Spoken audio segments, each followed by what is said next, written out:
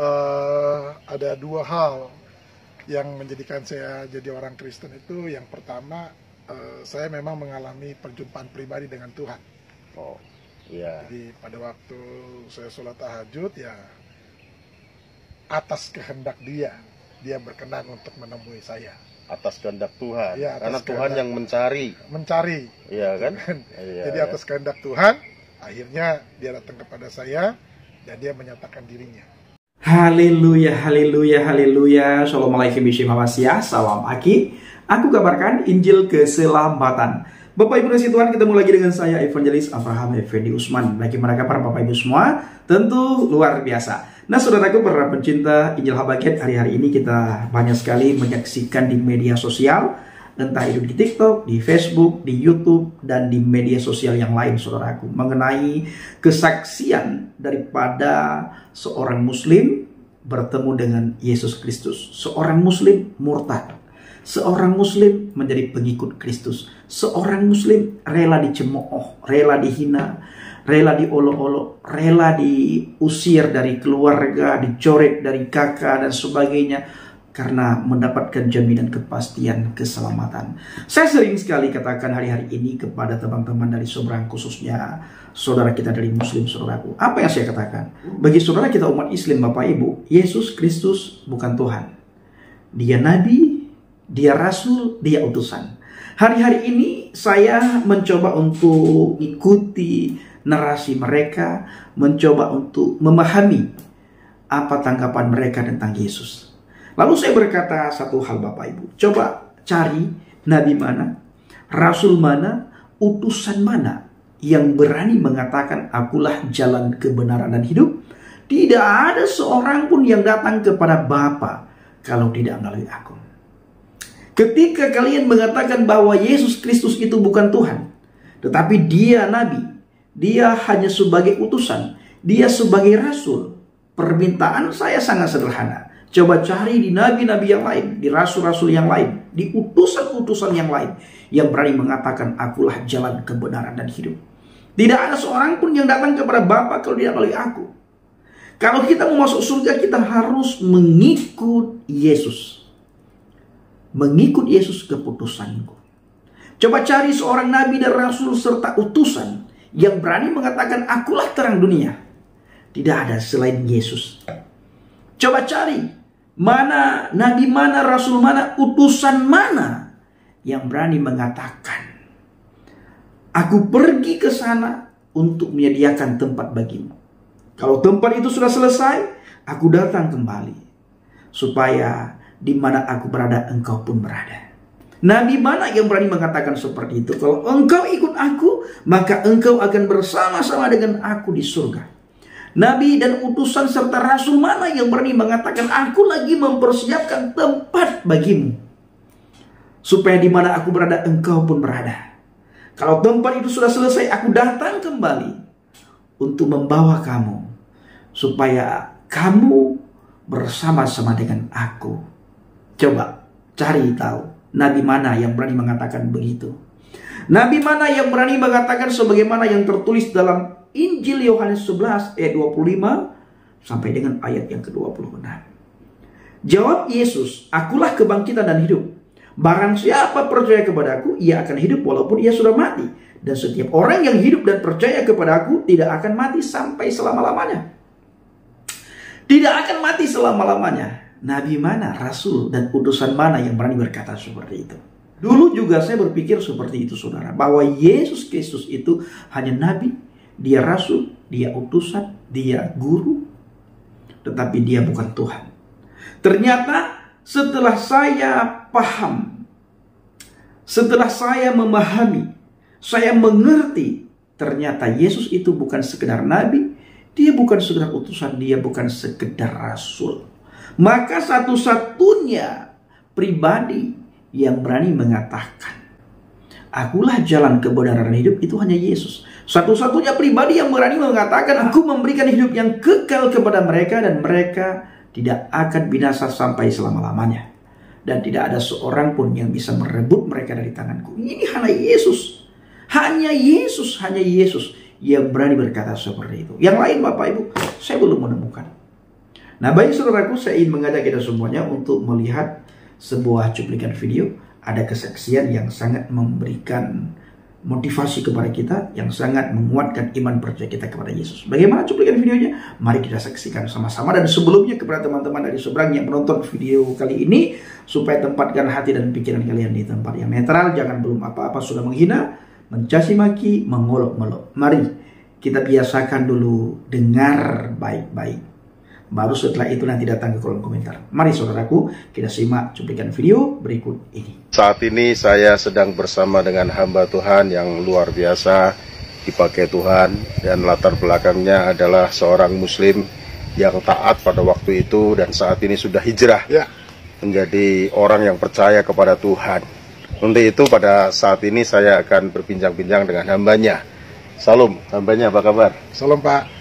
Alhamdulillah, puji Tuhan, baik sekali. Puji Tuhan ya, luar biasa. Bapak bisa ceritakan pengalaman Bapak sebelum terima Yesus sama setelah terima Yesus tentunya ada suatu perubahan ya. Ya, puji Tuhan. Yang membuat Bapak terima Yesus waktu itu karena apa Pak? Jadi eh, ada dua hal yang menjadikan saya jadi orang Kristen itu. Yang pertama, eh, saya memang mengalami perjumpaan pribadi dengan Tuhan. Oh, iya. Jadi pada waktu saya sholat tahajud ya atas kehendak Dia, Dia berkenan untuk menemui saya, Atas kehendak Tuhan. Iya, atas karena Tuhan yang mencari, mencari. iya kan? Iya, Jadi ya. atas kehendak Tuhan, akhirnya Dia datang kepada saya dan Dia menyatakan dirinya.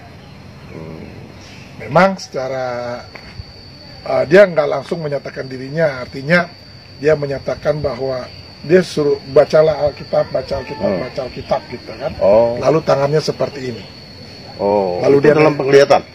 dari penglihatan karena pada waktu itu saya sholat tahajud Oh, sholat tahajud ya. ya sholat tahajud Luar lalu biasa. saya didatengin seperti itu Hmm, Terus respon hambanya ini gimana? Eh, saya sih cuek aja ya artinya gini memang kalau dibilang bahwa dua kali saya didatengin sama pribadi itu Hmm, Memang yang pertama itu ya saya sih biasa aja karena saya pikir gini, ah itu mah biasalah kalau orang lagi sholat tahajud ada aja gangguan-gangguannya kan. Iya. Tapi iya. ya yang kedua itu dia datang lagi, datang lagi datang pribadi yang lagi sama. pribadi yang sama. Yesus Kristus Jadi itu. saya belum tahu Yesus itu, Waktu itu belum Ah, tahu. Ya. karena saya belum kenal kan. Ya. Jadi dia ada eh, cara datangnya sama, Hmm, cara perginya sama. Perintahnya sama, pribadinya juga sama. Iya, iya. Pribadi yang pertama. pribadi yang, menjumpai pertama waktu dengan pribadi itu yang ya. kedua itu sama persis. sama persis. Nah, perintahnya juga sama, baca Alkitab, baca Alkitab, baca Alkitab. Itu perintahnya ya. Itu Baca Alkitab perintahnya. dan akhirnya Ya, karena saya nggak punya Alkitab pada waktu itu ya saya baca Al-Qur'an. karena nggak ada Alkitab ya dibaca saya baca Al-Quran. Al-Qur'an Oh. karena ya nggak tahu lah Kak. ya yang penting saya baca Al-Qur'an dulu lah.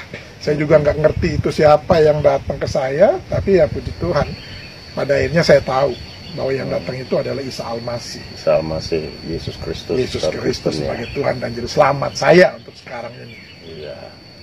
Setelah tahu eh, melalui membaca tentunya ya. Ya, Kan punya hanya Al-Quran waktu itu Iya. baca.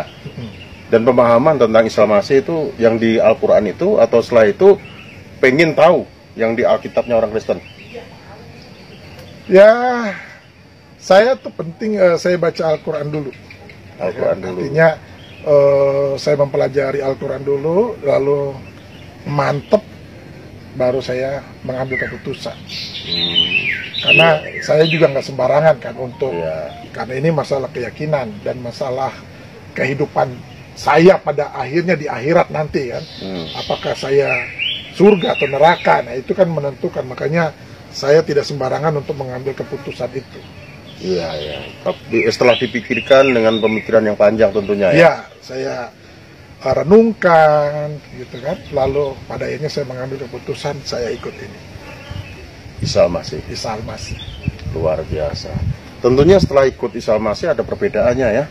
Sebelumnya kan taat sekali menjalankan ibadah, ritual-ritual dan sebagainya gitu ya. ya Nah, itu kan tentunya juga merasakan uh, setel- sebelum uh, percaya Yesus sebagai Tuhan dan Juru Selamatnya atau Isal Masih itu dan setelah kan tentunya ada suatu perbedaan ya. yang dialami. Ya, pasti. Hmm, Seperti apa itu? Ya, eh, perbedaannya adalah dari sisi keyakinan saya lebih yakin tentang hidup ini bahwa hidup itu harus pasti. Harus Ter- pasti. Terutama mengenai keselamatan itu harus eh, harus ada kepastian. Apakah sebelumnya belum nggak ada kepastian? Kan mudah-mudahan. Masih mudah-mudahan ya. Semoga. Kalau kita berjanji, misalnya saya berjanji sama bapak, Ya. eh kita ketemuan yuk di di di kota sana atau di kota Hmm. sini, kita saya bisa aja ya jika Tuhan menghendaki ya gitu kan. Nah, Jika Tuhan menghendaki ya kita bisa bertemu. Tapi kalau bicara masalah keselamatan, tunggu dulu. hmm, Keselamatan ini yang antara surga atau neraka. Dan saya percaya setiap manusia di muka bumi ini pastinya siapa pun dia menginginkan surga. semua. Karena surga itu adalah tujuan utama dari setiap manusia di muka bumi ini.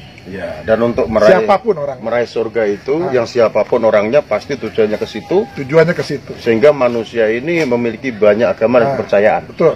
Nah, tapi untuk menuju surga itu, Hmm. jalan mana yang harus kita Nah, pilih? itu. Itu yang paling penting. Ya. Karena kalau kita nggak tahu jalannya menuju surga, ya nggak bisa.